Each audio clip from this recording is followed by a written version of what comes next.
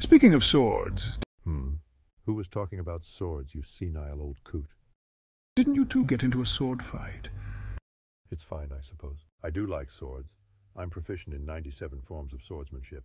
And as the person who can literally read brains, Ian is the one with the most senility here. Ah, yes, I can recount that story if you wish. I know over 120 sword forms. If you count the staff arts, I know. If you swap a staff with a double-sided sword, they are essentially the same, you see. Despite my alleged senility, I remember it as clear as the cataracts in my left eye. Then regale us.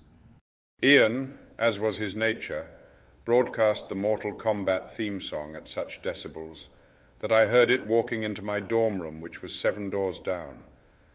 I knew that this was his way of letting me know that I had been spotted and that an attack was incoming. Well, the best defense is a good offense.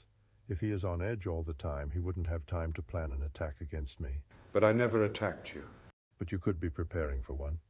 How could I know? It's hard to be prepared against an attack that could come at any minute. which means I was the one who had to be prepared at any minute. So, anyways, I ran into my room to grab my samurai sword, came out in the hallway, and of course, Chris was already at the ready with his.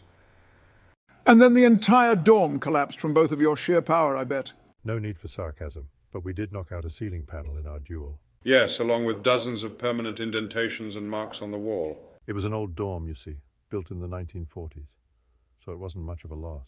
Well, other doormates didn't appreciate it, or us for that matter. Oh, right, we got noise complaints constantly.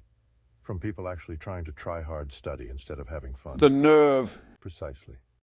So, anyways, Ian's sword ended up breaking, so he lost the duel. Okay, first of all, I landed a blow behind your right ear. And then moments later, another blow behind your left ear. It was surgical. You were covered in welts. I didn't say it wasn't an epic duel. The force of our blows broke your sword. Yes, but you're leaving out the fact that it was a complete rout before my sword broke. Okay, guys, it was a cool sword fight. Relax. Yes, for me, because I won. You shamed yourself when you let your sword be broken. Your sword was broken in a sword fight. The ultimate shame. Yes, it did break. It couldn't handle my power. Yinko rekutu. Yosa odu buroku. Bikazu it commits seppuku dishonorable display. Assuming a sentient sword seppuku explanation, and in that we're actually in agreement.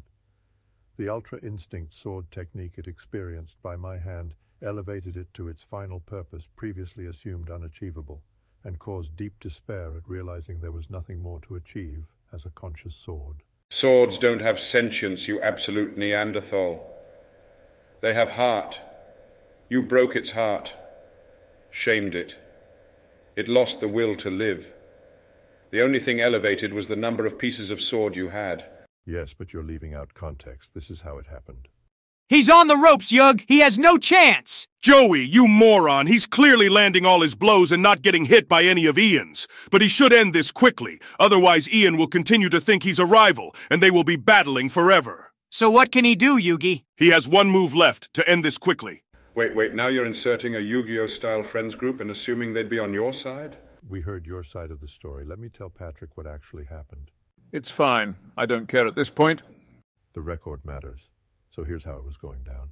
So what can he do, Yugi? He has one move left to end this quickly. He does? That's great, huh? He does? What is it? Well, what is it? Tell us, Yug. Ultra Shamerfu Area of Effect Bambu. Ultra wah! It's a technique that requires great sacrifice. Everyone involved, including the sword itself, loses heart. No heart! But then he'd have no heart, and how could he? Quiet, Joey. He's doing it.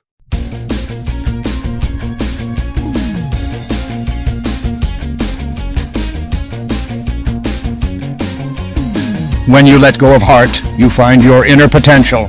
Sword unleashed, nothing can stop us. Shame for everyone, even the sword. The enemy will be defeated with two injuries, and shamed. We'll be shamed too, but you can't go lower than we already were. And that's okay. We'll be okay. There are more swords. Well, f me.